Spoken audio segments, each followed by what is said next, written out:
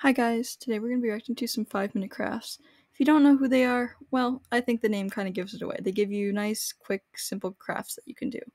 Well, this video, they did crafts about school hacks and how to make it so you can study better. But from the clip I'm going to show you to start off, you're going to see that this is not really the case. Alright, let's get this started.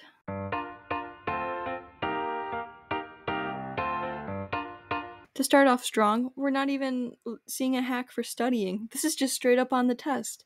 You can't study while you're mid test session unless there's like answers written in the eraser, but that's not studying, that's just cheating. Also, why would you even have an eraser if it's a test where you're writing in blue pen? You obviously can't erase that. For answers that you get wrong, you would just have to cross them off and recircle. So, how could this possibly lead to a study hack?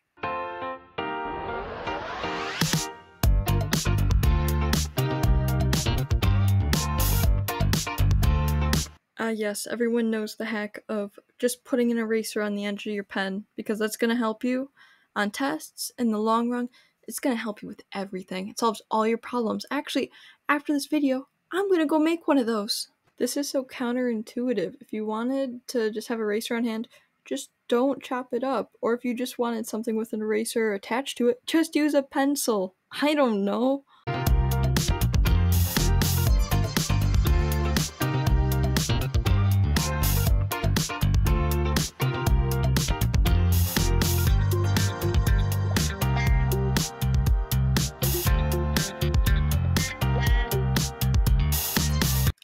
Eyes are deceiving me, because I'm pretty sure this video is called Best School Hacks and Crafts That Make Studying Easier. I don't think that has to do with studying. I think that's straight up gambling. And offering that to, well, I imagine you wouldn't see a college student doing this. I think they would just uh, go with what letter they haven't used the most.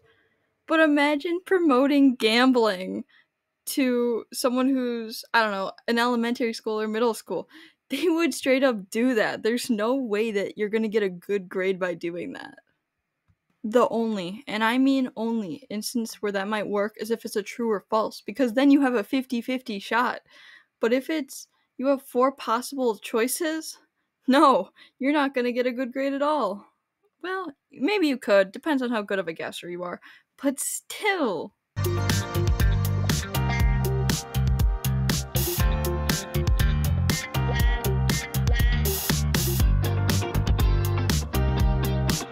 Okay, who wrote this episode? Because whoever they are, they need to go back to school. There's so many things wrong with this.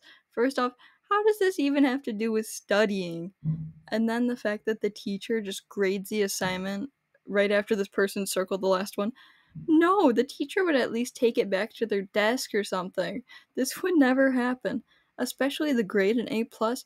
This guy would be lucky if he got an F rather than an F minus.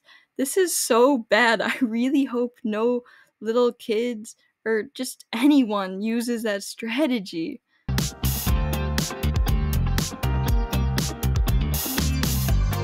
I just gotta say it.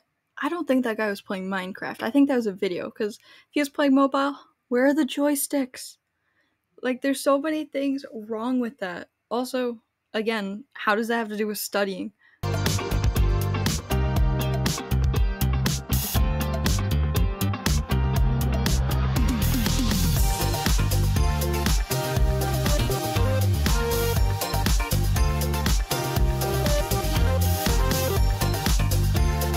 Okay, so if you get your phone taken in class because you're watching Minecraft, not playing it, because that guy was not playing it, what you should do is you should make a decoy phone because that will solve your problems.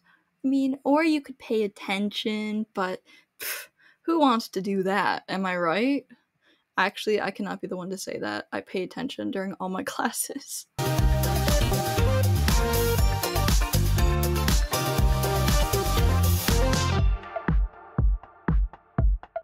I'm not joking, that's the entire hack.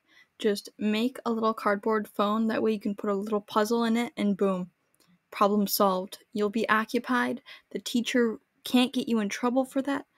Nah, because how would that even help you? It doesn't help you study, doesn't help you not get caught by the teacher. Because this time, if you're caught by the teacher, I don't even know. At that point, doodle on your paper or something. Guys, don't you hate when you brute force open up a pack of Skittles and it just goes everywhere? It's like, I wish they would just make something on the package that made it so it was easy to tear and like open or something. Man, Skittles is missing out by not doing that. Oh, wait a minute. Why does this need a hack? The whole point of Skittles' d- package design is that they're easy to open. It's not like you need to go grab scissors to open them or you have to like pop them open like how you pop open a bag of chips. It's so straightforward, and yet Five Minute Craft somehow thinks this needs a hack. Also, how is this even school related? Who is opening a bag like that at school? You gotta do it secretly, or else everyone's gonna be like, oh, you have Skittles? Can I have some, please?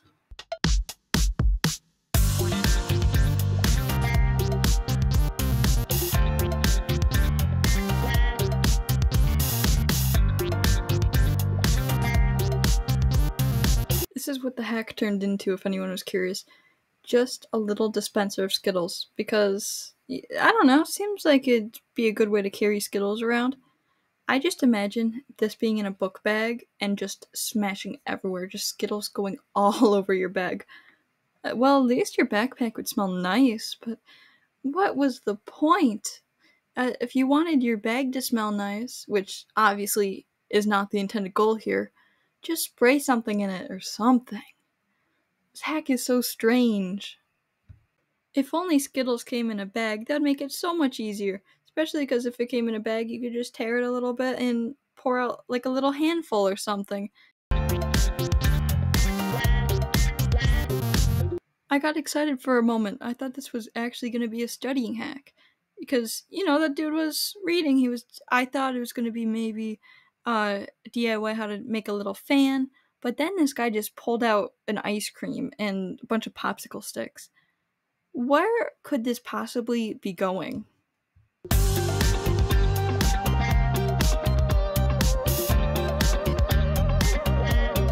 Oh, guys, maybe I misspoke. I think he is gonna make a fan. But why would you use popsicle sticks? Hasn't anyone ever seen the one where you just get a piece of paper and you fold it a few times and you just make a fan there? Voila, that's school hack. And it's actually realistic that you can do in a school.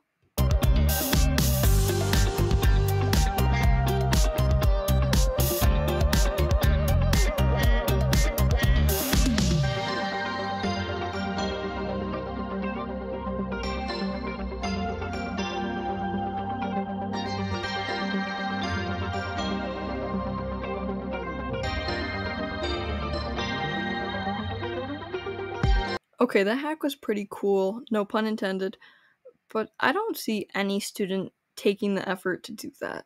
That's a lot of steps, and as I've mentioned before, a lot of students know that you, if you just fold a paper a certain way, you can make your own little fan. It's cheap, it's it's very time effective, taking less than a minute to make.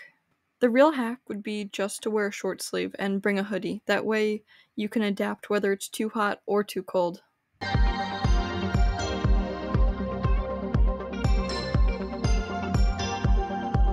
Ah, yes, the good old study hack of take the answer key while you're taking the test or even before. But this looks like he's mid test. I don't know if it's just me, but that paper doesn't look real to me. I think it was added with After Effects and post. I don't know if I'm just seeing things or what. Let me know what you guys think in the comments down below. But I think that was added after the video was shot.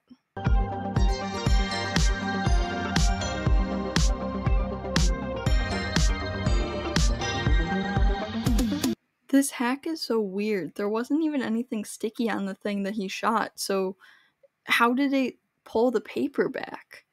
Just because it had a string attached to it doesn't mean anything. Also, why wouldn't you just use one of them sticky hands?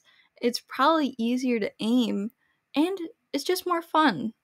I'm kidding. Just don't do this in general. Maybe study, like this video said it was gonna try to promote.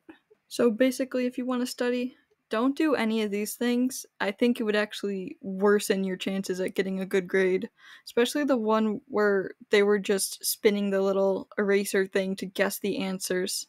Alright guys, that's going to be the end of this video. If you enjoyed, hit the like button and subscribe for future content. Alright, bye guys!